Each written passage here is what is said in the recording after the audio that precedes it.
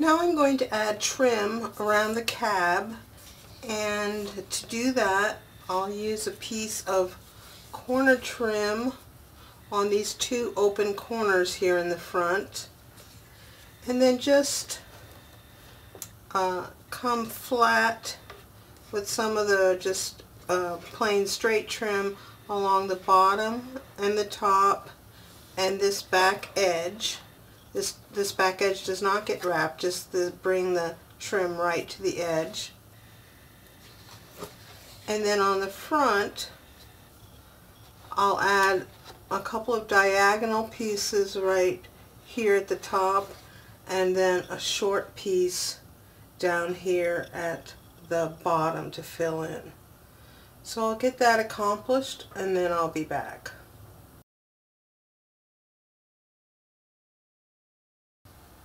For the window trim, I've decided to use this border that is on this uh, Eclectic Emporium paper.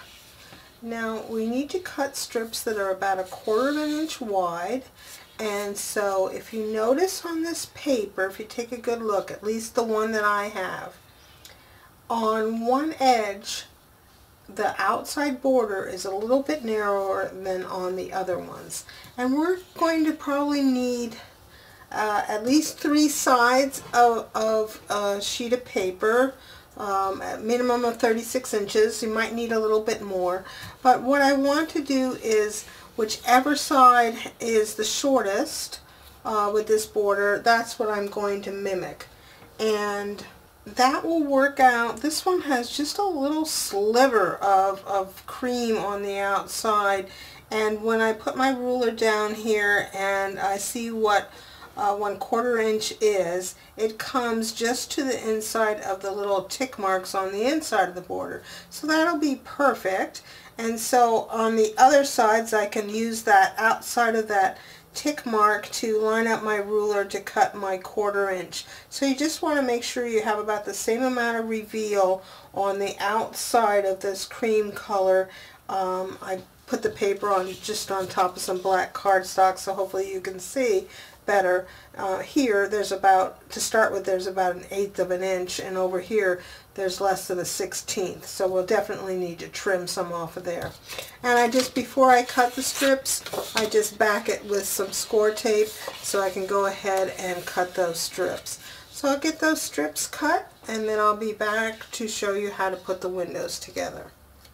So this is what our completed windows will look like. We're going to make four that are the large size and that is one quarter inch wide by two inches tall. And then we'll make two of the small size that is one and one eighth by one and one quarter. And so we have three layers to the windows. The first is the trim that we just talked about cutting. Next I'm using some um, it's called frosted by Tim Holtz part of the idea-ology line. And I you could also use packaging plastic if you didn't have any of this frosted or you can um, omit that altogether. I just I just wanted to have something in the windows but not something really shiny so that's why I went with this frosted. And then in the back I'm using some of this bird's paper. It's what's on the back of the um, where we cut out one of the emblems for the wheels and I'm also, I think you can tell here the difference between this side of the paper and the left side over here. I've just taken some of my uh, brown distress ink. I'm using uh, ground espresso and I'm just darkening that a little bit so that the birds won't stand out so well or so much. Um, so let me just show you how I put these together.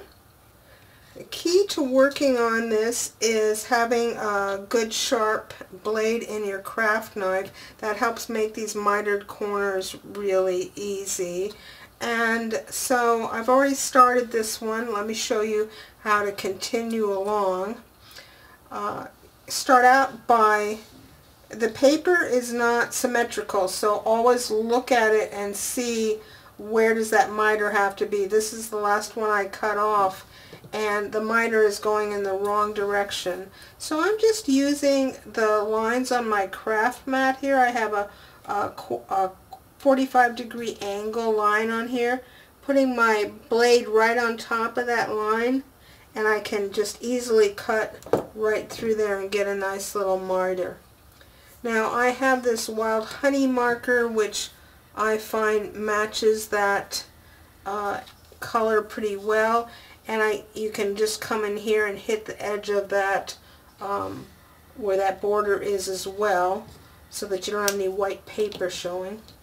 And then because this main mat is green I usually work on something where I can see this easily. And I'll just get this tape backing off of here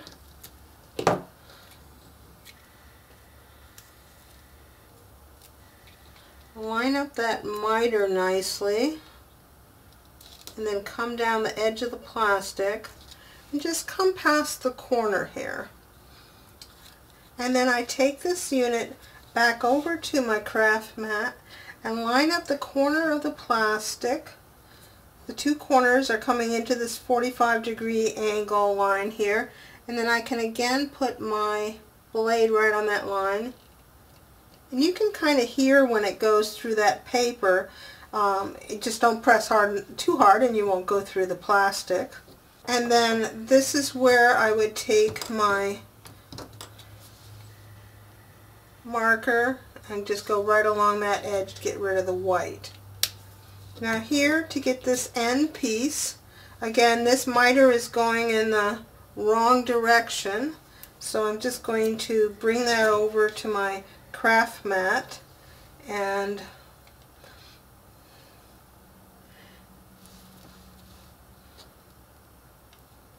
make it go in the opposite direction.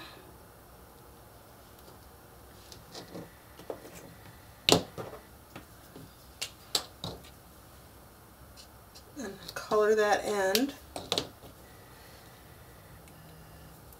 Then I'm only going to, on this last edge, I'm only peeling this tab back a, a tiny bit because I don't want it to stick over here on this other end. Now I'm just going to line that up there, right to the corner, and take this back down to the craft mat, to that 45 degree angle, and then I can come I heard that, well, it came right off. And now I can pull up the, off the tape backing, hit that white edge with my marker, and now I have a nicely mitered frame. I'll give that a burnish.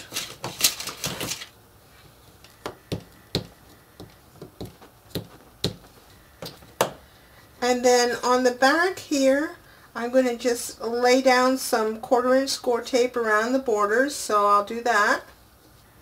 So I've added score tape to the edges here. I've already removed the backing. I think you can see the shininess of the tape in the video. And then I have cut a piece of my darkened paper to the same size as my window, which for the large one is one and one quarter by two. And I'm just going to put that here on the back.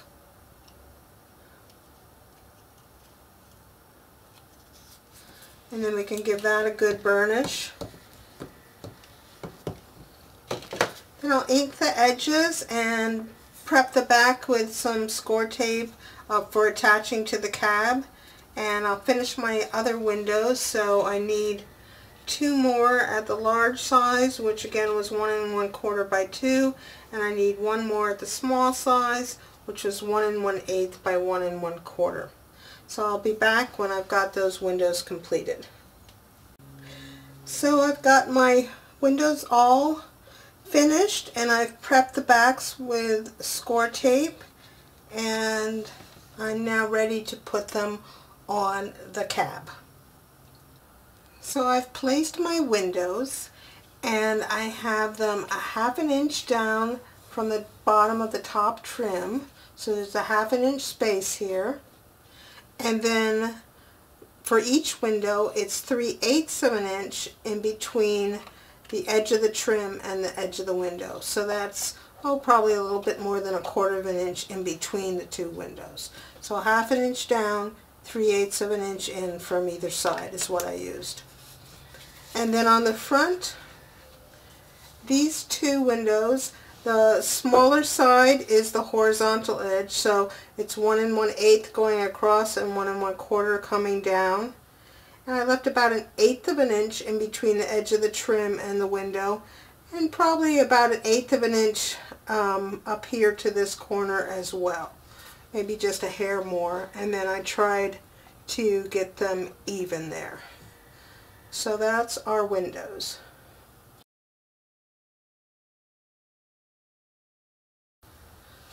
So now we're ready to work on the roof and I've cut out my two roof bottoms.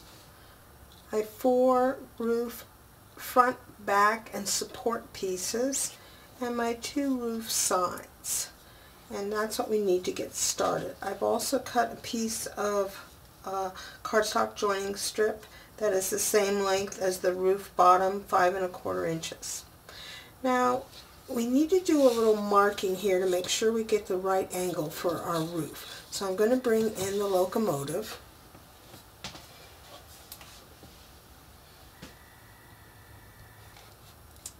And what you want to do is take one of these roof front back support pieces and hold it up so that it overhangs on the left and right the exact same amount and hold it there tightly and then trace a line on either side.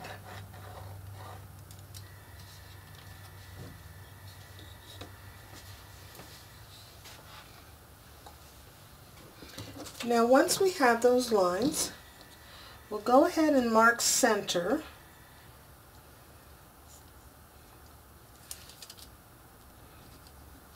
and that's where we want uh, our peaks to match. Now, when we're not going to necessarily use these lines as cutting lines because we need to make sure that when the line is extended, it uh, doesn't end up being below the point. So if I put my ruler on here and extend that line, and for me it is going underneath this point over here, I'm going to just hold my ruler parallel to that line, just move it up a little bit and then draw another line that goes to that corner. I'm going to do the same thing over on this side. Hold my ruler parallel to that line.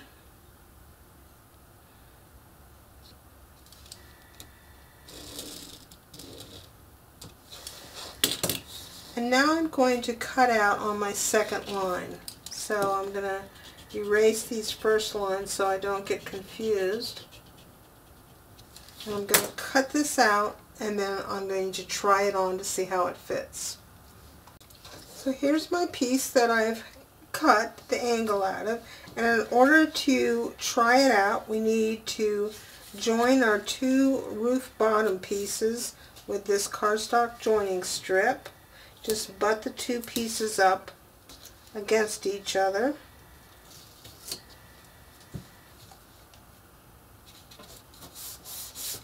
Go ahead and give that a good burnish. And then we'll put this on the cab and try out this, this piece.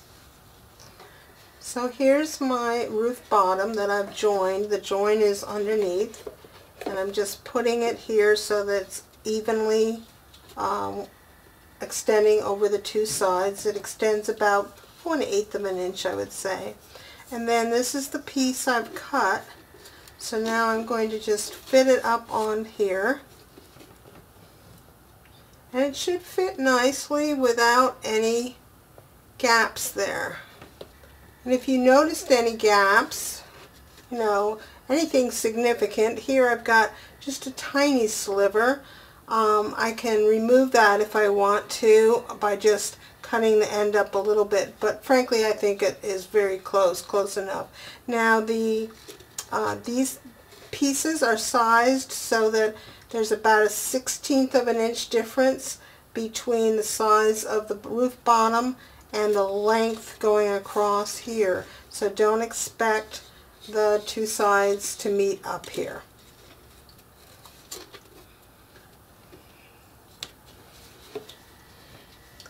So now we've got a piece that we can use as a template. I'm going to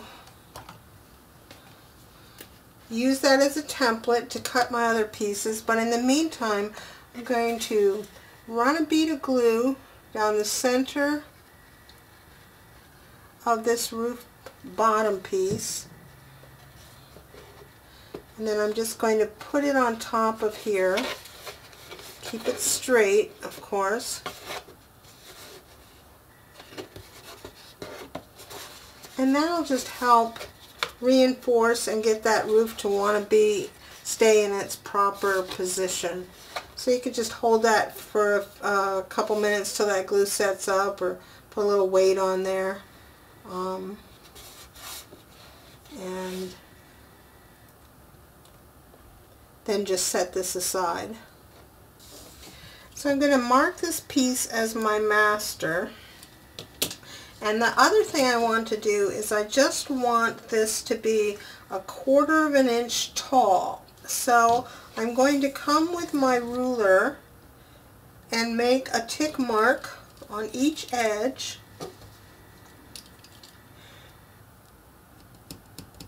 A quarter inch from the bottom point.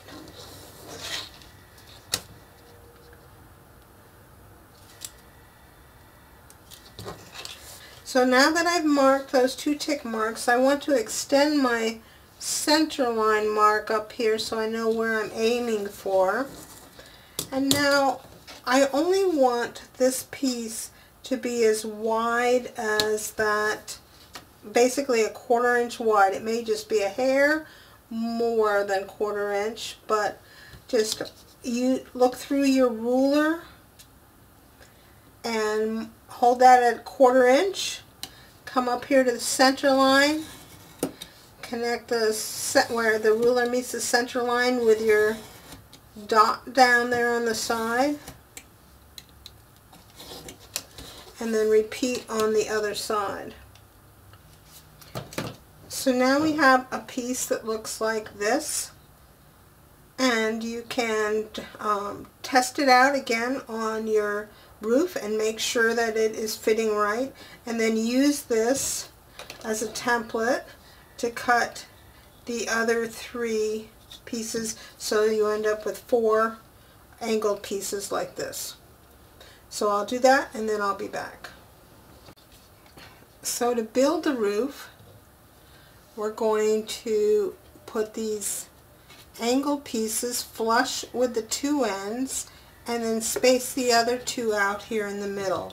And just to give myself a guideline, I'm going to measure, oh, I would say about an inch and five eighths in.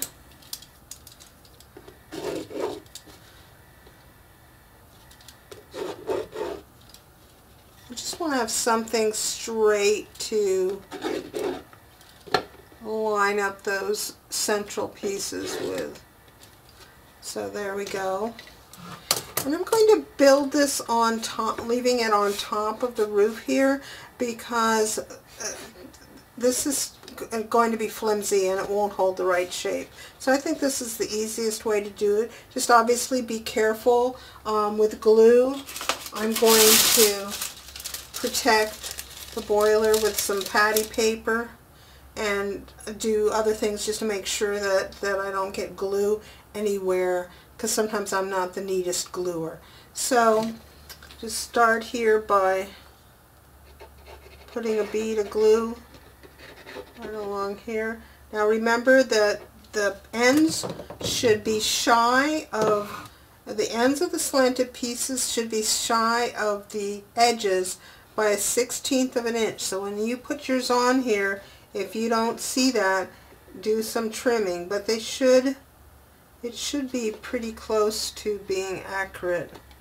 And then just go ahead and give that some pressure. Make sure everything is staying vertical.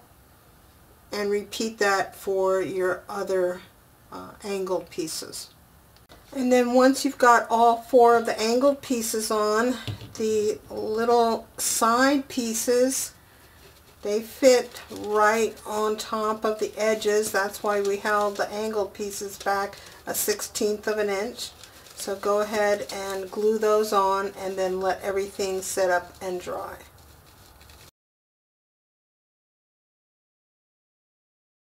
So now our roof is dry and so we can work on covering the sides. And I've cut some strips of paper that are 7 8 inch wide and what I'm going to do is line them up flush with this top edge, that's the open edge here, and then wrap to the underside. Probably do this in several stages. Um, the the ends first uh, with and come and make this a nice butt joint for this angle and wrap it a little bit onto the sides and then take a couple side pieces how I'm thinking about doing it or you could continually wrap around I never know where those joins will be, so I like to be um, more in control of where they are. So um, that's how, why I'm going to do it this way, but you can suit yourself, of course. So um, just to figure out this angle for that, you can uh, use a protractor or just take slight slivers off of here or measure underneath either either way. Now just remember that this is the bottom so we want to start by uh, lining up here on the open edge and wrapping to the bottom. So I've got all of my edges wrapped here and I took a moment to ink them. And then the back part of the roof overhangs the cab by about an inch so I don't want to have any chipboard showing there. I've already filled in with my little wedges that I cut out so I'm just going to take another scrap and put that in just so that on the back um, nothing will show there. So I'll get that accomplished.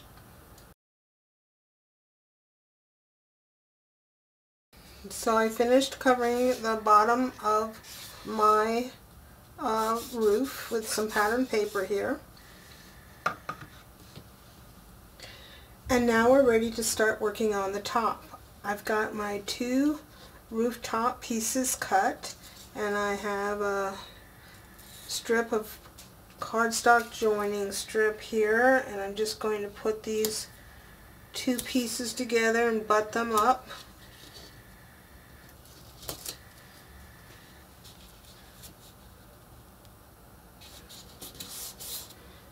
and give that a good burnish.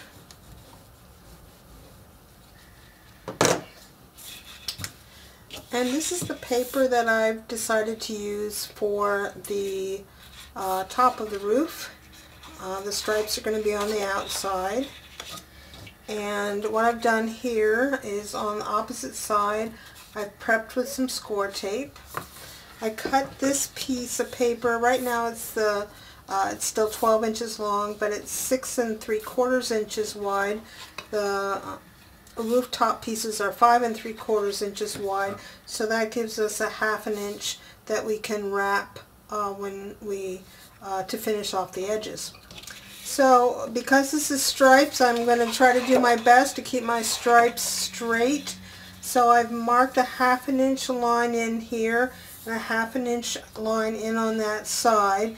And I checked to see that my stripes were were running uh, parallel with the edge. And so I'm going to start by just removing score tape from one side probably just one strip here so that um, I'll have an opportunity to move it if I need to. So I'm going to line it up here on my two one half inch lines and then just kind of I'll just do it lightly and then check on the other side and see if it's straight. So only removing one strip from this outside edge of uh, one strip of score tape backing from this outside edge to begin with. So I've just stuck down this one strip here and then I've just folded gently along this line here so I can check check my stripe and it looks good. So now I'm going to remove the score tape just from this one side and get it fastened down. Don't remove it from this other side yet.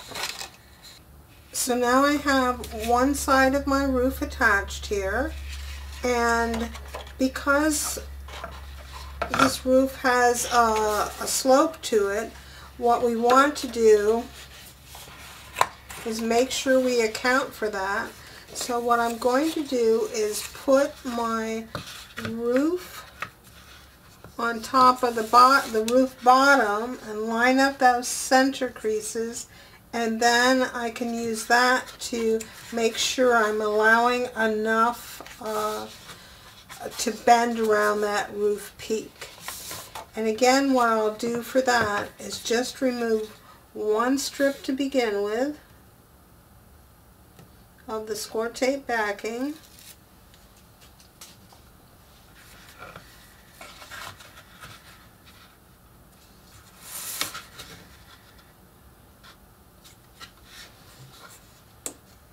I have my roof aligned there and now I can reach underneath here and kind of hold on to that and I'm just kind of rubbing right there at that roof peak. Then I can check that out and see how that's going. And everything's happy. Then we can remove the rest of this score tape backing and get it completely attached. So now I have the second side completely attached and I can take my ruler and trim off this excess decorative paper so that I'm left with a half an inch uh, overhang all the way around. And I'll go ahead and prep that with some score tape. So now I'm ready to wrap my corners around here and I want this to stay pretty flat on here so I'm just going to allow just uh, when I miter these corners I, I want to allow just uh, uh, the width of the chipboard basically to where I make that miter. Now I have one of these perfect trim rulers. They make two different styles but both of them have this uh, dimension of 0.0625 and that's the corner I'm going to use to help me figure out how much to trim off. If you don't have something like that you can um, use uh, just come out past the corner uh, just a tad more than the width of the chipboard and cut your miters. Uh, a 45 degree angle, just cut them off and then you'll be able to have a nice flat corner there. So I cut my 45 degree angles on my corners and you can see I've wrapped the long edges here. Now in order to wrap the, the sides here I need to make a, a cut just perpendicular to that or parallel to the line here perpendicular to the edge just right there in the center and then I'll be able to wrap these last two pieces. So after our rooftop is wrapped and I've inked the edges and burnished it of course, we can attach it to the roof bottom. It attaches to this side with the ribs. And when we put it on here we'll just use wet glue and we'll just make sure that it is centered left to right top to bottom and then let that give it some good pressure and let it set up and dry and then once uh, the glue is set up and our roof is all together we can attach it to the cab a couple of things. I've removed the back panel here because I don't want to have any danger of um, gluing that on. Um, I have a piece of patty paper here just to protect from gluing and then this piece of the roof that has the extended coverage on the bottom we're going to put that on to the back. So this part goes to the back. And when we put this on, we're going to have about a quarter of an inch overhang in the front. The majority of the overhang is going to be towards the back. So let me see if I can show you this this way. So see here where my thumb is, my right thumb is pointing? There's about a quarter of an inch overhang from the front end of the cab to this bottom part of the roof. So we have about an inch back here and a quarter of an inch up here. So just put that on with some wet glue, give it some pressure, and allow that to set up and dry.